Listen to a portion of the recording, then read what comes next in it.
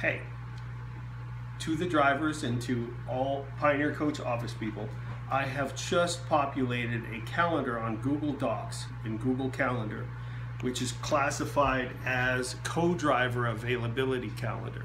And I've shared this with everyone on Pioneer Coach and all the drivers and all the office people. What this calendar will do is to be populated by drivers full-time and part-time of your availabilities between tours or when you're just available as a co-driver. Like anything, it's only as good as you populate it, it's only as good as it's looked after by human beings. So that means if you take a job or you're going to do something else, you need to actively go onto the calendar and change your availability dates and move them around. The calendar looks like this. Zoom in. So what you would do is you would go to a date where you think you're available. You would click on the calendar, it would pop up, and then down here, I would drop down menu shows me my different calendars that I have. You might have more, you might have less, doesn't really matter. Highlight the co-driver availability calendar, put in your name,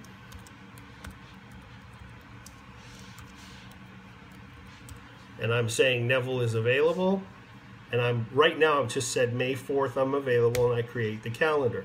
Now if I'm available, say I'm on a tour and then I know I'm available, we're back in on the 3rd, I'm available to do co-drives till, you know, we leave out Monday, so I'll say Sunday. And then I go save, and now it's populated, it says Neville, and I'm able to see that I'm available from Wednesday through till Sunday. Now let's say Cam gives me a co-drive and then I say, okay, well, I'll help out with this co-drive. I'll do it, I don't know when it, when it is. I was looking for one of these. Say, I, say this one down here. Okay, I'll be available for Eli Young. So I'm now I'm going to do that. I know Eli Young is three days. Eli Young starts on the 6th, so I click that. Populate. I know I got to be back on Monday, so I'll say the 8th. So now my only availability is like pretty much there. So I'm doing Eli Young Band, and if I go to the next week, I should be able to see where I'm available. Neville's available right here. So you can move it around as you continue to be available and unavailable on the dates that whatever it is that you're coming back on. So if I chose and accepted something, now I'm not available till Sunday, but I have to leave out Monday night.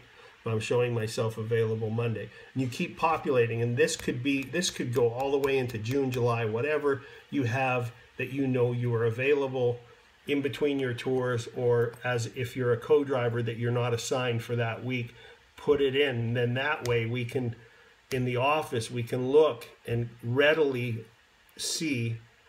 Well, I color coded mine in green. You can color code yours in any any color you want, but I'm able to quickly come in and see when someone is available, i.e. in the green. And it's that simple. And I can even put in descriptions as to like say back at, I'll just say back at 9 p.m.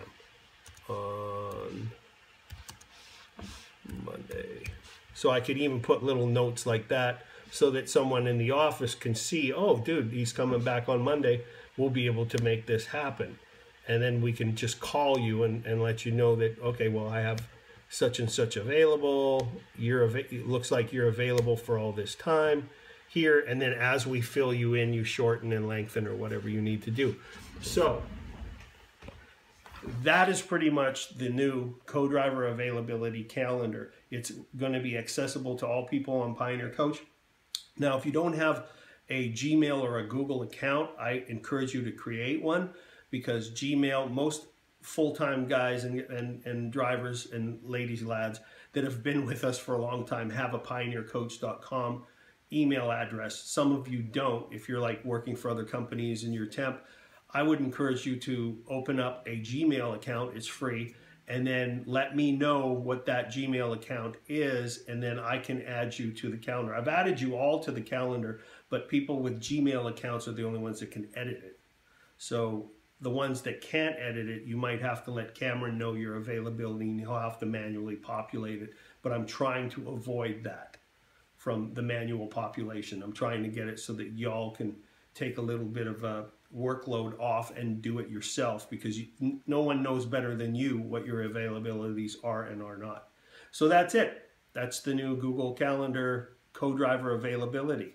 Have a blessed weekend, have a safe trip and safe travels. Thank you.